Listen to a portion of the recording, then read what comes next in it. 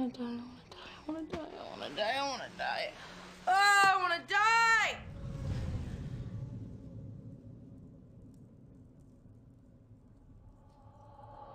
All the good girls go to hell.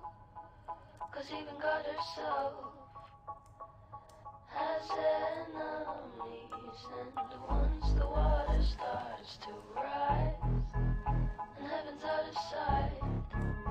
she'll want the devil on her team.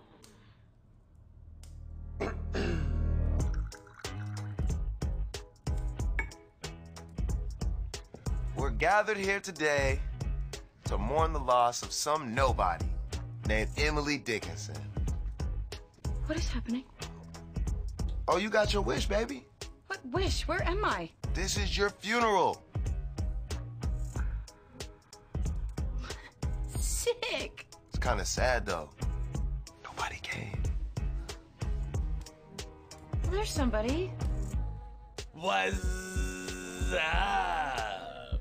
You're the only guest at my funeral? Yeah, the butterfly couldn't make it. I don't have any other friends? Oh man, I know, right? I have my whole hive. Huh, there's somebody else. You came. That must mean you respect me. No, I'm just here because I accidentally set fire to my cabin and burned down the woods. Fine. Let's just get on with it. Okay.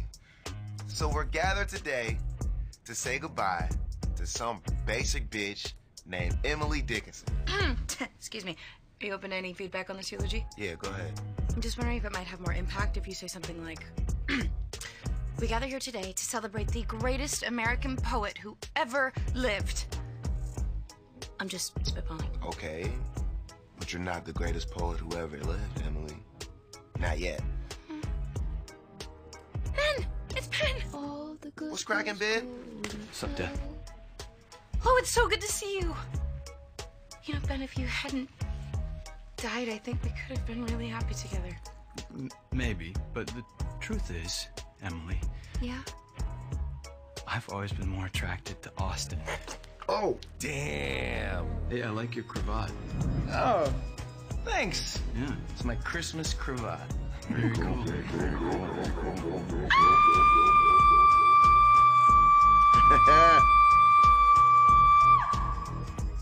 Can we continue with this, or you want me to just call it off? No, just don't get it over with. Bury me. I could do that.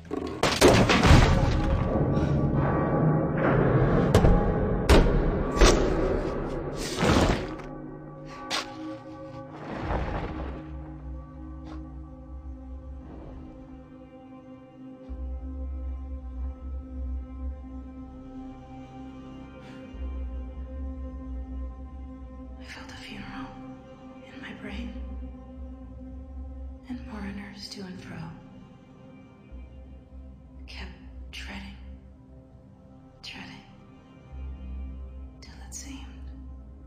that sense was breaking through.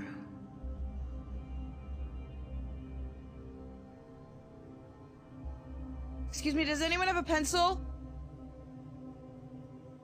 Hey. Hey, can you hear me? I need to write this down. Hey. Hey, let me out. Let-.